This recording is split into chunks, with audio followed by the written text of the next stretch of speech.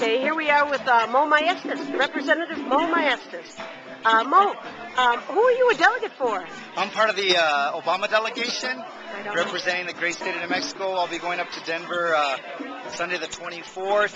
And then, of course, Obama gives his acceptance speech at Mile High Stadium Thursday night, the 28th. 80,000 people, including a national and international audience. I can't imagine how any teenager or 20 something cannot watch that speech and not be a lifetime Democrat. That's great. Um, so, what's your uh, what are you looking forward to the most? I'm looking forward to meeting leadership from throughout the country. You know, guys like uh, Congressman Jesse Jackson from Chicago.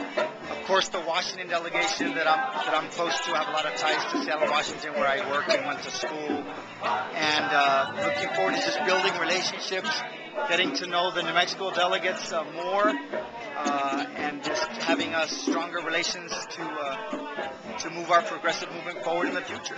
Great, Moe. Hey, we'll see you up there. Maybe we can take another minute with you. Wonderful, absolutely. I'll see you up there. Okay, Moe. Thanks.